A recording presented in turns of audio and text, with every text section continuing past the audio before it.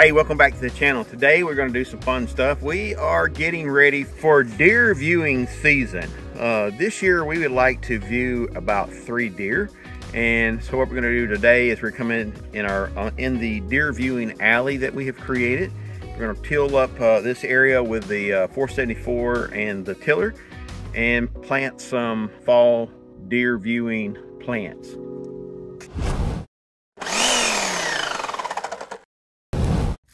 You gonna view some deer with me? Hmm? What you find? He's. He's a mighty mole killer. So I'm gonna put my deer viewing platform on this tree and it's gonna be aiming back this way. I'm probably gonna come back in here with a mini clip and clip off a few of these right here. Uh, just so I can get a good, good view. I guess I could push this off here and put it on that tree. That would give me a straight shot down through there with my deer viewing apparatus. All right, here's where I'm going to clear this out. I'm gonna put my, my deer viewing platform right there. It leans up against the tree about 15 feet in the air. Probably have to push a little bit of this out too.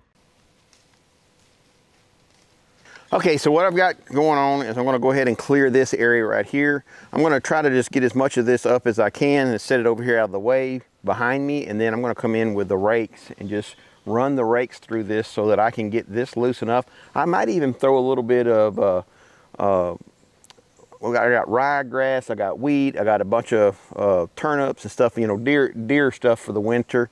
I'm gonna put right here. Might put just a little bit under the, the deer viewing stand and then down through that, that lane right there, I'm gonna go ahead and put little spots here, there, and yonder. So yeah, let's get to it.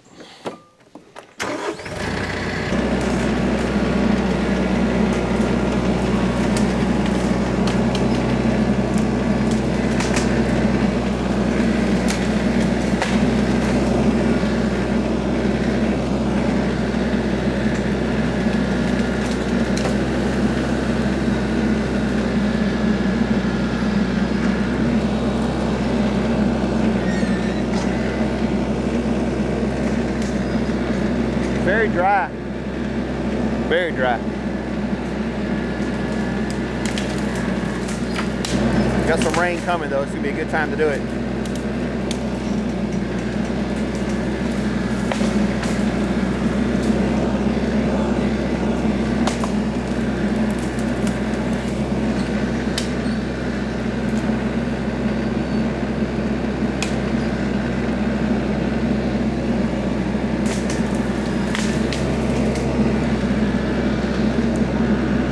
Next spring, I'm probably a spot out here after it's got a few rains, pile a bunch of this up in the middle, burn it.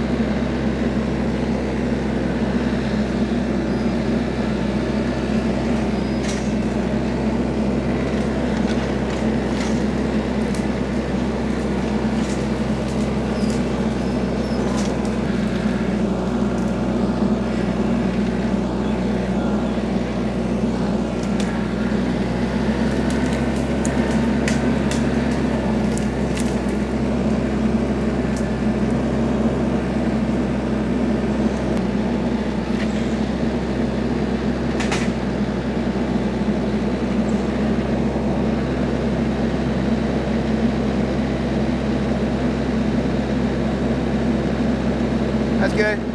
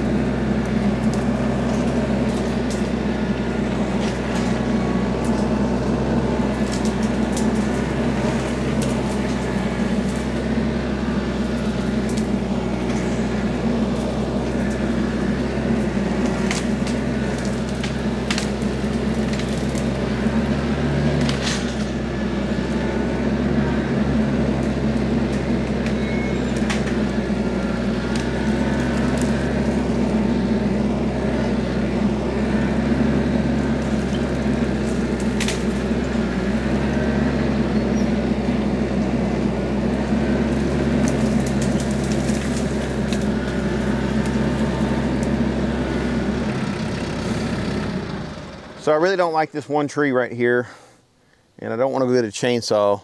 I, am going to try just to push this over. I don't recommend doing this, uh, but this soil is very sandy and very dry right now, so I think we're going to have a pretty good shot. I'm going to just push on it a few times. If it if it goes right over, then I'm good. If not, I'm going to bring a chainsaw back here and cut it down.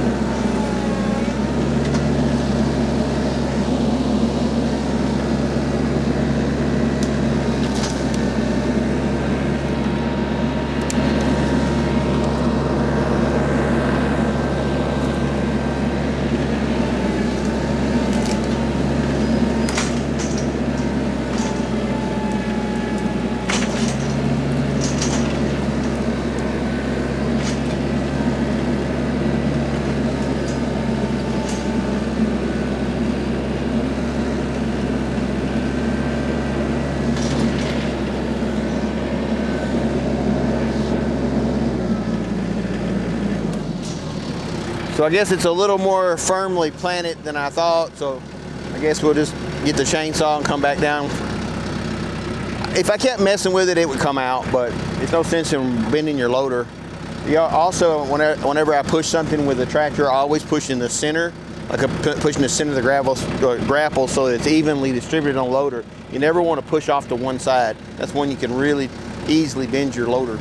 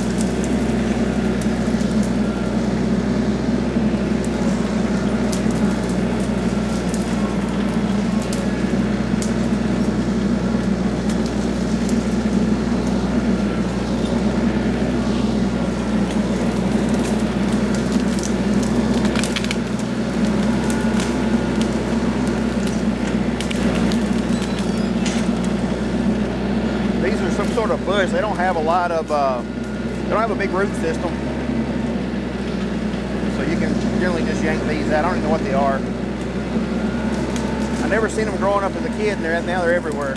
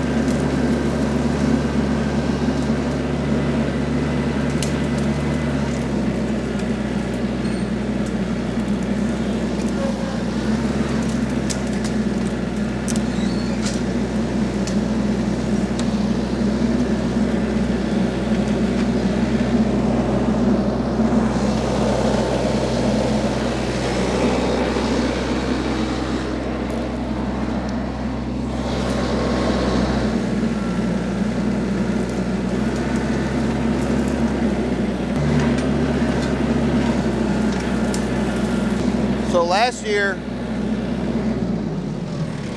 last year there was no light down here. This was completely dark, it, and it stayed wet year round. And by us opening this up, this has dried out quite a bit. Plus, we've not had rain, any measurable rain in almost a month. So uh, I see, I want to try to go down through there. Normally that is so wet that I can't go down through there. And if I can open a lane up through there, that would be pretty nice it would be just perfectly in line with a tree. But we'll see.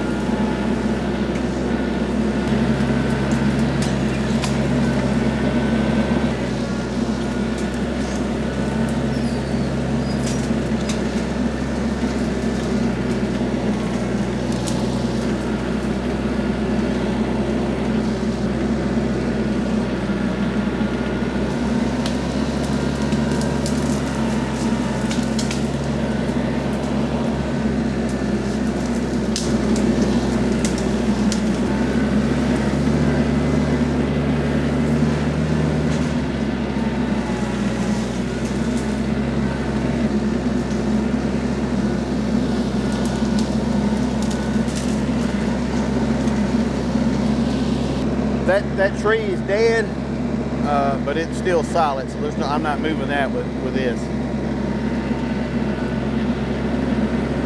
I'll have to go back to my original plan.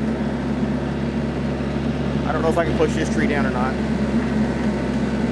May have to lay it down with a chainsaw.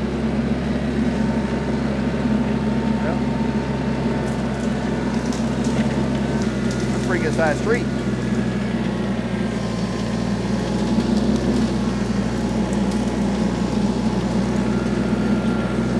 That's what I was talking about the soil differences. That one tree is must be in a, a better, a more clay area. That right there is very much sandy, wet. Like a legitimate tree.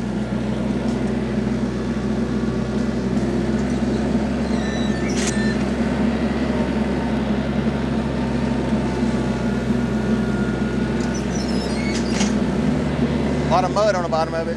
So I doubt we can go any further than that.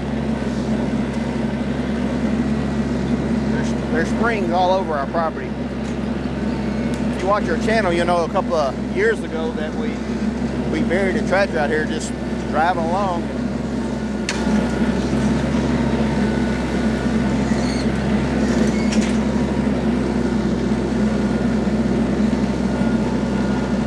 Wet root system, heavy when you get closer to the root.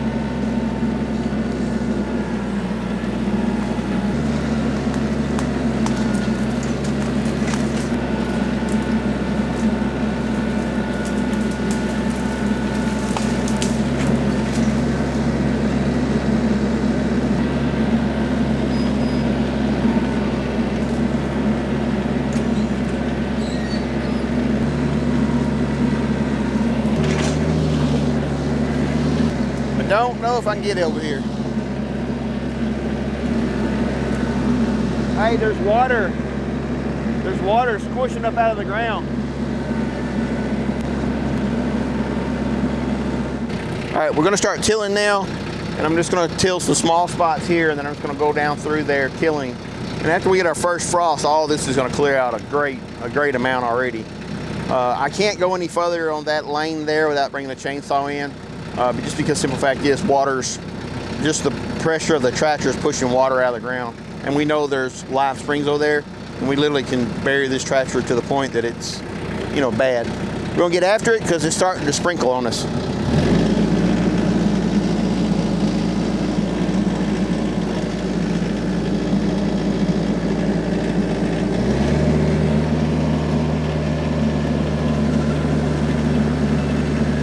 Very slow because this has never been tilled. There's little little stumps in here.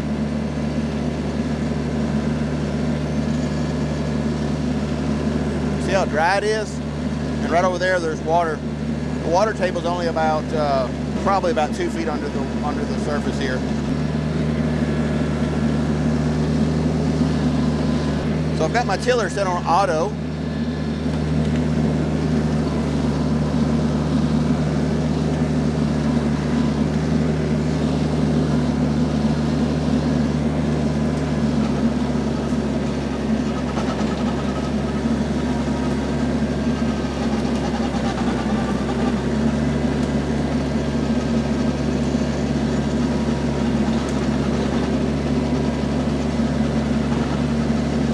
I'm only scraping about maybe three or four inches down. This tiller is amazing though. It's just chewing through that those roots and stuff.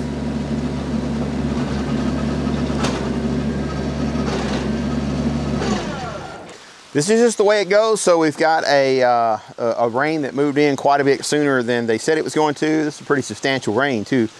So I'm not going to take the big camera down. We're going to go put the big camera up because it's uh, it's not really good and waterproof. We'll take one of our small action cameras down there. We're going to throw our seed out and then, uh, hey, we'll see what happens.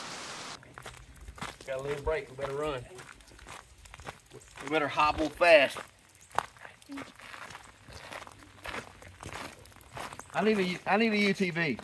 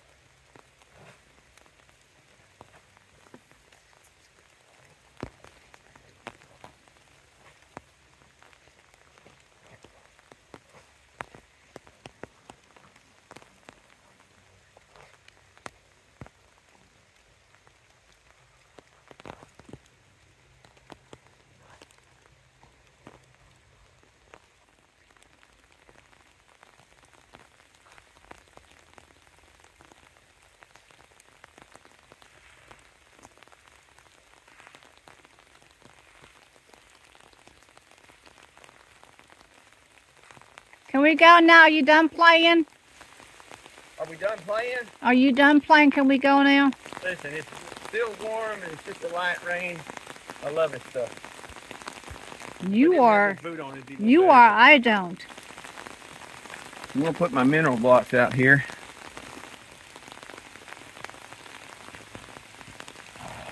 Perfect time.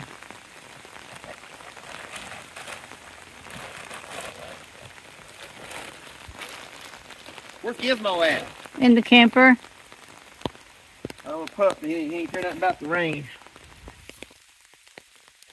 So I got a mineral salt brick.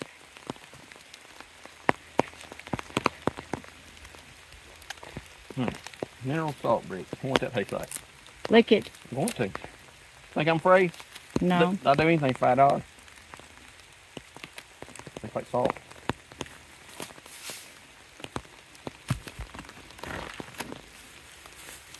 Now this one is a mineral salt brick honeysuckle fever.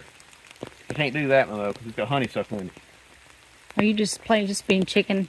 Huh? No, Are you I'm, just I'm, I'm a carnivore. I'm on a carnivore diet. Can't have no sugar. Well, it doesn't matter. It doesn't hurt you one lick. One leg. She's she's trying to get rid of me. Is what's going on? I want the big money. It's waiting for me when you're I gone. think so. Did you hear? Huh? I'm waiting for the big money to come in when you're not here no more. Yeah. I know you married me for my money. Yep. All right, guys, I love this stuff. We got it. Uh, we got. I, I wish I had better uh, a better time of doing the the spreading, but it's raining, and I wanted to get it out, and it's showing a big rain coming. So trying to get this all done before the big rain gets here. We should. We've got a really awesome, awesome, awesome deer viewing lane right here. Look right now. Let's let them see the deer viewing lane. Slow motion. So we won't get seasick here. Da da So da. the tree that I'm going to put my tree stand on is about uh, probably about 25 or 30 feet further back. Choop. And right there, I'm going to put it on that tree. And that'll give me a perfect view. Okay, let's go. Let's go. Bye, everybody. God bless. I had enough fun. Let's get home.